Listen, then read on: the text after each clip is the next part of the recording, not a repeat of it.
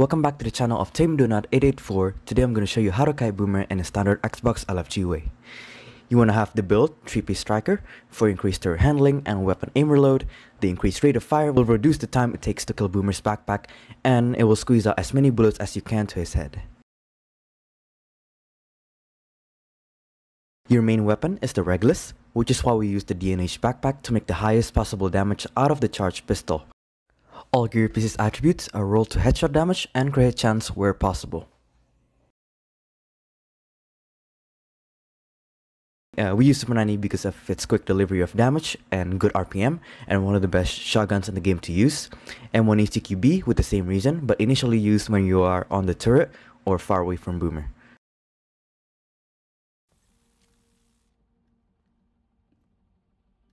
The first thing that you want to make sure is that you want to have the healer, which in this case is Scott 644, to be shooting the nodes on the 41 turret.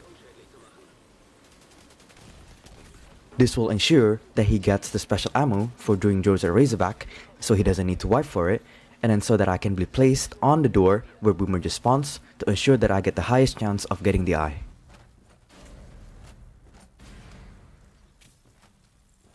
I make myself a space so that the Negotiator can proc their damage, and I bring Boomer in front of Burger and breaks his chest piece. It is important to not break the chest piece any sooner, because uh, breaking the chest piece right at the moment that it is now will buy time for the kiter to shoot Boomer's backpack and it will do the stagger animation from Boomer. When he gets down, waste all of your Super 90 on the head, And in, in this clip, I used an Achilles pulse to finish Boomer face quickly.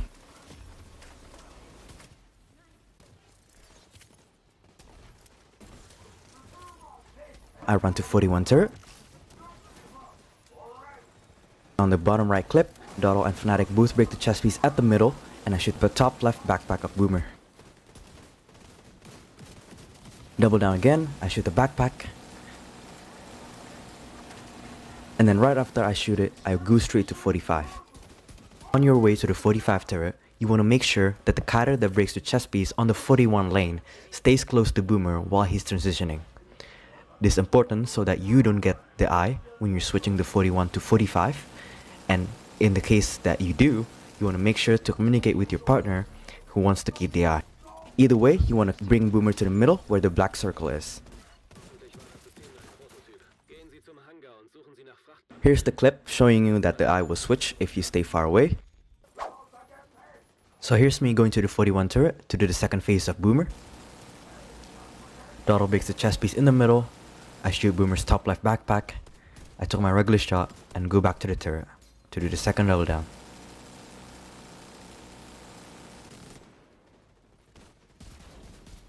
I put damage to Boomer and if you pay attention closely, you can see Dottle is already trying to run away from Boomer. And he creates a lot of space between him and Boomer. When me and Dottle meets, Boomer's eyes switch to me. So you gotta maintain a close range of to Boomer if you are not on the 41 turret. I break Boomer chest piece, take an Achilles shot, and an end the face. All in the middle.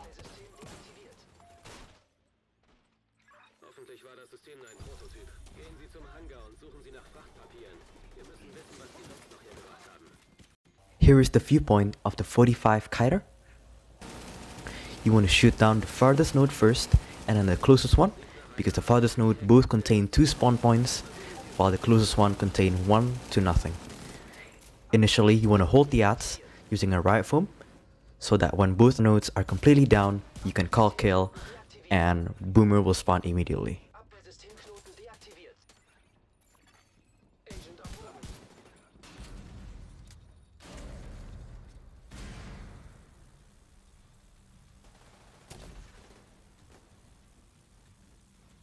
Shoot top left of Boomer's backpack.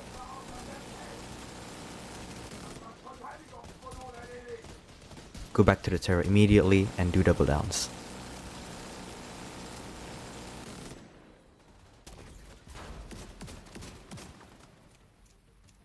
After you do the 45 turret, you want to kite Boomer to the 41 lane, either through the middle or through the outer part of the computers. You want to break Boomer's chest piece in the black circle on the 41 lane And then of course, do all headshots. I took an Achilles pulse again on the second double down. And then go back to the 45 lane. This time, I want to make sure that I keep a close eye on Boomer. And then I bring Boomer to the center, breaking Boomer chest piece there, go straight up to him to buy time for the kiter on the turret.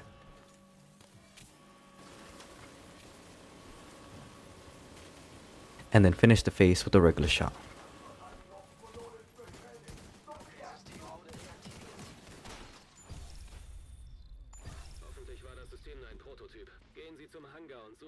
So here I'm going to show you how to buy time for the kiters to shoot Boomer's backpack by keeping him still. You want to bring Boomer to the middle, break his chest piece. After you do so, you want to go straight up to him, activate his pulse, and then roll back.